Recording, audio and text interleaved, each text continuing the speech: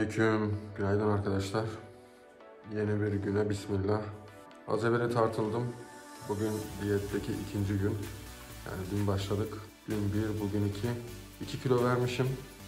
Yani bu da su kaybına işaret. 2 kilo su kaybetmişim dünden belli. Görüyorsunuz arkadaşlar dün yediklerimi gördünüz. Yani illa aç kalarak kilo vermek zorunda değilsiniz. Düzenli yiyip yediğiniz doğru şeylerle kilo da verebilirsiniz. Bol bol su içtim. Grapefruit yedim dün gördüğünüz gibi. Ondaki pektinlerin de işte biraz faydası oluyor. Besine, gıdalara dikkat etmek. Bir de dün 2500 kalori alacaktım. Ne yazık ki gördünüz yetiştiremedim. Aşağı yukarı 2300 kalori aldım. Ama bugün yine aynı seviyede gitmek istiyorum. Bakalım yarın tartıda kaç çıkacağız. Bugünkü kahvaltım göstereyim size.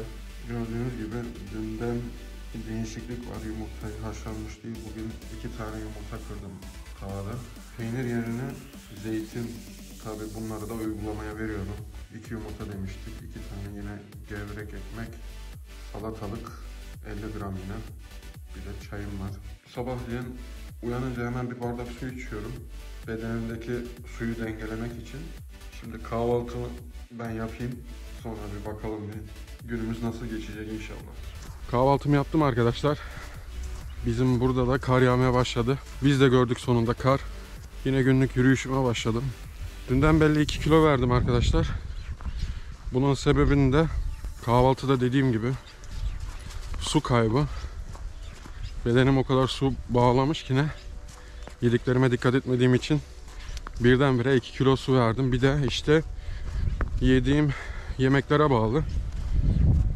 Arkadaşlar hiçbir ek takviye, zayıflama hapıymış gibi bir şeye ihtiyacınız yok. Sade bilmeniz gereken vücudunuzun nasıl çalıştığı. Hepimizin vücudu bir kimya fabrikası ve nasıl çalıştığını bilmemiz gerekiyor. Dün mesela dikkat ettiyseniz hiçbir şeyde tuz kullanmadım. Tuz bedende suyu bağlıyor. Şimdi tuzsuz da yenir mi dersiniz? Tuz da sağlıklı evet. Ama yediğimiz her yiyecekte tuz var. Diyette dikkat edin. Tuzu fazla kullanmayın. Şeker, un ürünleri bunlar da aynen. Vücutta su topluyor. Daha ben çaylara falan başlamadım. Çaylara da size göstereceğim inşallah. Bazı tür çaylar var. Özellikle yeşil çay bedendeki suyu atıyor ve kilo vermenizde tabii ki size yardımcı oluyor.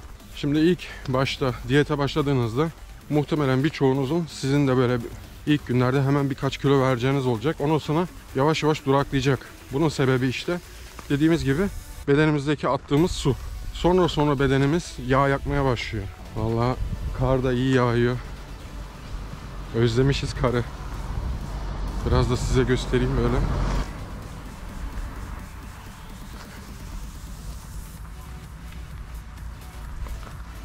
Yarım saat, bir saat oldu kar yağmaya başlayalı. Ama her yer böyle beyazlaşmaya başladı bile. İnceden inceye yağıyor. Dün gördüğünüz gibi birkaç kez yürüyüş yaptım.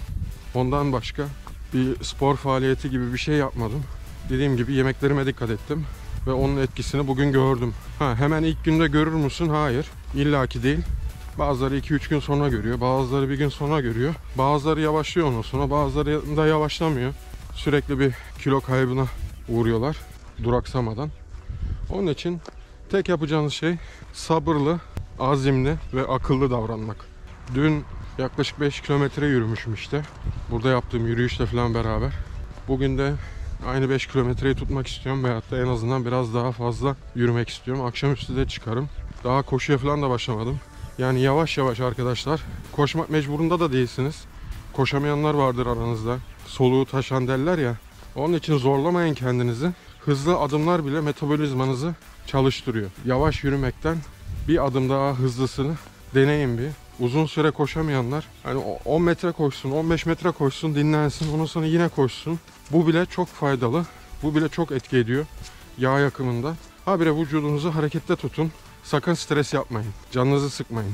Stres yapınca bedenimizde bazı hormonlar var. Onlar fazlalıkla üretiliyor ve bu da kilo vermeyi önlüyor. Onun için fazla strese girmeyin. Yavaş yavaş, sabırla, azimle yolunuza devam edin. Şimdi ben de yoluma devam ediyorum. Eve gideceğim anasına. Biraz işlerim var. Öğlen yemeğinde yine sizinle buluşurum.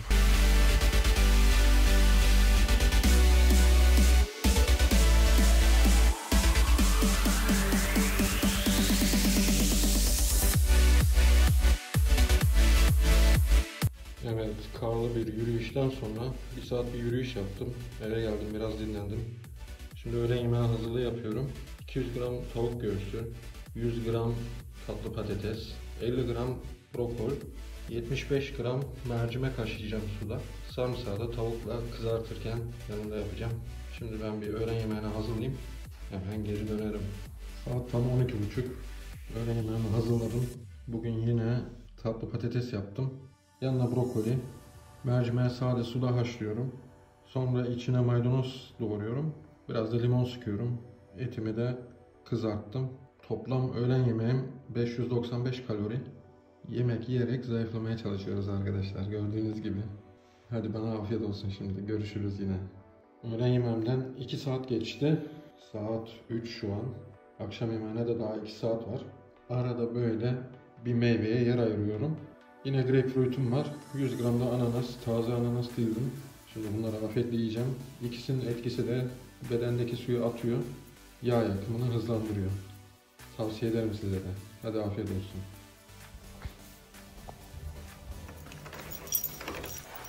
Ne oldu? Ulan ne getirdin sen? Ana ben diyet yapıyorum diye aç kaldım diye adam kuş yakalamış ya.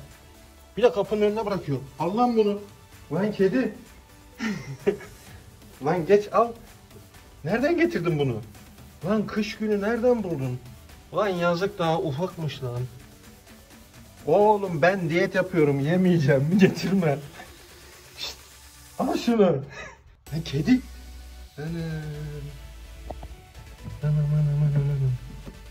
Ulan ölmüş daha ne yapıyorsun? Eziyet etme. Ye işte.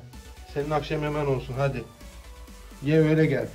Ben yemiyorum diyetteyim.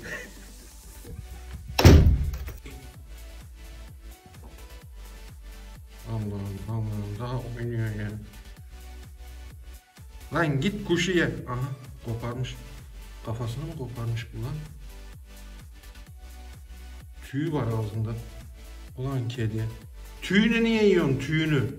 Git. Adam kuşu yakalamış. Kapının önüne getirdi. Benim diyet yaptığımı biliyor. Ben de arka kapıdan kaçtım. İlla ki kuşu eve getireceğim diyor. Yemiyor da oynuyor. Karnı tok hayvanın. Ben de bir yürüyüşe kaçtım peşimden gelmeden. Kedi peşimi bırakmıyor. Ben bir yürüyüş yapayım. Akşam yemeğinde görüşürüz.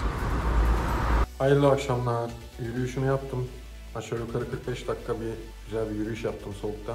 Kediye de görünmeden hemen eve daldım. Galiba kuş yemiş. Dışarıda bir şeyler görünmüyor. Ona afiyet olsun. Ben de bu ara hemen akşam yemeğimi yaptım. Bugün biraz geç kaldım ama geç olsun güç olmasın. Göstereyim akşam yemeğini yaptım. 150 gram tavuk göğsü kızarttım. Yanına birazcık mantar 100 gram. Biraz da karışık sebze kızarttım. Sonra bol zeytinyağlı, azıcık peynirli bir yumurtalı salata yaptım kendime. Daha son öğünüm var yatmadan önce. Badem ve cevizim var. Onu da sonra size tekrardan açıklayacağım. Badem ile cevizle görüşürüz derim. Hadi bana afiyet olsun. Evet, akşam yemeğinden sonra cevizle badem demiştik. Ben bugün 15'er gram yiyorum. 15 gram badem, 15 gram ceviz. Çünkü kalorimi doldurmam gerek. Fazla düşük olmaması gerek. Cevizle bademi anlatayım arkadaşlar. Dün de söylemiştim önceki videoda. Akşam yemeğine ben 5.30-6 gibi yiyorum. Akşam yemeğinden sonra da son bir öğün yapıyorum kendime. O da cevizle badem. Çünkü geceleyen aldığımız yağlar eğer karbonhidrat almazsak uyurken yağ yakmada faydalı oluyor ve metabolizmamızı daha hızlandırıyor. Onun için karbonhidratı akşamları keselim. Daha fazla sağlıklı yağlardan tüketelim. İnanın bana faydasını göreceksiniz. Şimdi de ikinci blokumu kapatmak istiyorum. Hepinize izlediğiniz için teşekkür ederim. Hayırlı akşamlar diliyorum. Bir dahaki videoda görüşmek ümidiyle.